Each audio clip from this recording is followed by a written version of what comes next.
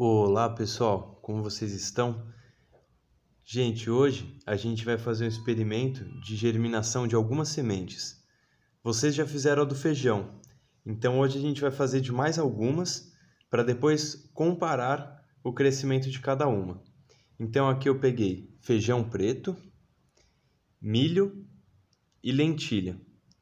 Todas a gente vai usar a mesma técnica, pessoal, que é um recipiente qualquer pode ser plástico, vidro e algodão. Então, em todas a gente vai pegar sementes, colocar, igual a gente fez da outra vez com o feijão. Aqui do feijão, aqui do milho.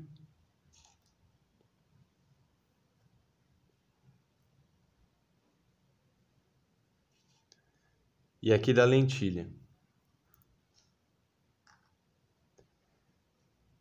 Todas no algodão. E agora, pessoal, a gente vai colocar um pouquinho de água em cada um. No feijão, no milho e na lentilha. E assim todos os dias. Lembrando que tem que deixar elas um pouco no sol, né? Porque a planta precisa de água.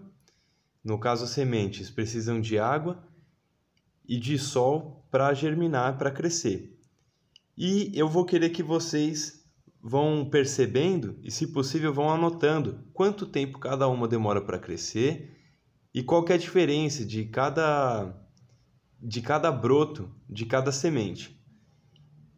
Gente, se vocês não tiverem alguma dessas sementes, tudo bem, pode usar a semente que vocês tiverem em casa. A ideia é experimentar mesmo e comparar o crescimento de uma semente com a outra. Pode ser feijão, pode ser milho, a lentilha, Pode ser a semente que vocês tiverem em casa, tá bom? Então depois vocês me mostrem fotos e vídeos e vão acompanhando o crescimento das plantas. Vamos notar então qual a diferença de cada broto, de cada processo de germinação de cada semente.